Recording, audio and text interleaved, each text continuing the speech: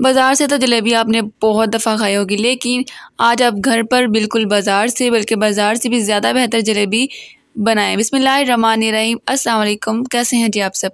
मैं हूँ फ़िज़ा। वेलकम करती हूँ आपको लाजवा पकवान में। लाजवाब पकवान में आज हम बना रहे हैं। बहुत ही मज़ेदार, बहुत ही क्रिस्पी और बहुत ही जूसी इतनी ज़्यादा मज़ेदार हलवाई स्टाइल में जलेबी की ऐसी रेसिपी जो चंद मिनटों में आप घर पर आसानी के साथ बना सकती हैं। और इतनी मज़ेदार ये बनकर तैयार होगी। यकीन करें कि खाने वाला एक दफ़ा तो हैरान हो जाएगा कि ये आपने घर पर कैसे बनाई है। तो चलिए बिना टाइम को वेस्ट किए अपनी मज़ेदार और क्रिस्पी सी जलेबी को बनाना स्टार्ट करते हैं। बिस्मिल्लाह करते हैं। चलें जी, बिस्मिल्लाहिर्रहमानिर्रहीम। सबसे पहले इसका शीरा तैयार कर लेते हैं, जिसके लिए मैंने लिया है तकरीबन डेढ़ कप चीनी का, और इसमें हम ऐड करेंगे अब पानी। ये बिल्कुल सादा, नॉर्मल पानी है, वो हम ऐड कर देंगे। इसमें डेढ़ कप से थोड़ा सा ज़्यादा मैंने लिया है, और दो से तीन इलायची ऐड कर देंगे टेस्ट के लिए। अब स्टोव को मैंने ऑन कर लिया है, और अब चीनी को हम मेल्ट कर लेंगे। हमने इसका शीरा तैयार करना है, और बहुत ज़्यादा तारों वाला इसका शीरा तैयार नहीं करना। बस जो चीनी है, वो अच्छे से मेल्ट हो जाए।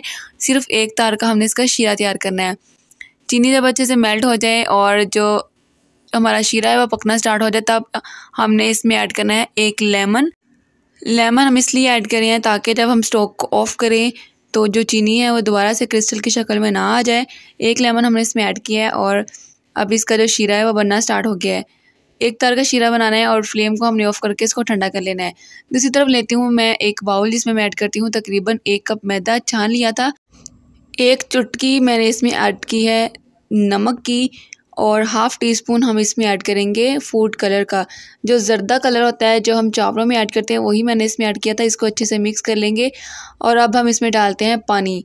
पानी डालकर हमने अच्छे से इसको मिक्स करना है और हमने इसको इतना मिक्स करना है कि जो हमारा बैटर है, वो फ्लफ़ी हो जाए। जितना आपका बैटर फ्लफ़ी होगा, उतनी ही जलेबी परफेक्ट बनेगी।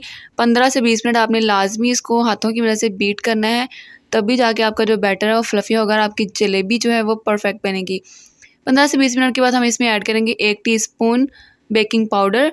Baking powder नहीं है तो आप बेकिंग सोडा भी यूज़ कर सकती हैं और ऐड करने के बाद हमें इसको बिल्कुल हल्का सा मिक्स करना है और इसको एक बोतल में शिफ्ट कर लेना है।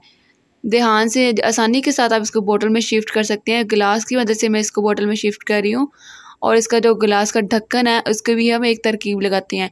मैंने लिया है एक कील जिसको मैंने आग पर रख कर गर्म कर लिया था और उसको आसानी के साथ इसके अंदर होल कर रही हूँ जिससे हमने इसकी जलेबी बनानी है।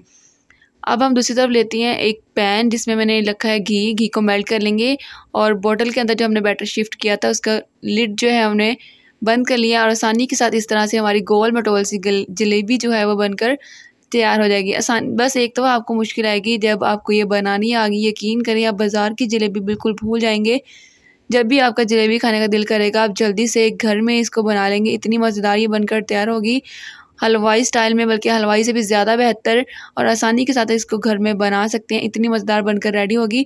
उलटते पुलटते हमने इसको फ्राई कर लेना। बहुत ज़्यादा डार्क कलर नहीं करना।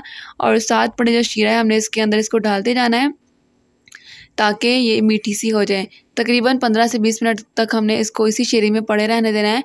और जब चीनी अच्छे से इसके अंदर, शीरे के अंदर अब्जॉर्ब हो जाए, और आपकी जलेबी आप चेक कर लीजिएगा, मीठी हो जाए, मज़ेदार सी इसकी टेस्ट आ जाए, तब हमने इसको निकाल लेना है। और माशाल्लाह से अलहमदिल्ला हमारी जलेबी की जो रेसिपी है परफेक्ट बनकर तैयार हुई है। हलवाई स्टाइल बल्कि हलवाई से भी ज़्यादा बेहतर आप घर पर बना सकते हैं। रेसिपी अच्छी लगी हो लाजवा पकवान को ज़रूर सब्सक्राइब करें। वीडियो को लाइक कर दें, अपने फैमिली और फ्रेंड के साथ शेयर कर दें और आपको उसकी फाइनल लुक दिखाती हूँ कि कितनी क्रिस्पी और अंदर से इतनी जूसी हमारी जलेबी बनकर तैयार हुई है। इंशाल्लाह, मिलती हूँ आपके साथ एक और नई वीडियो के साथ। टिल दैन अपना बहुत सारा ख्याल रखिएगा। अल्लाह हाफिज़, अल्लाह निगबान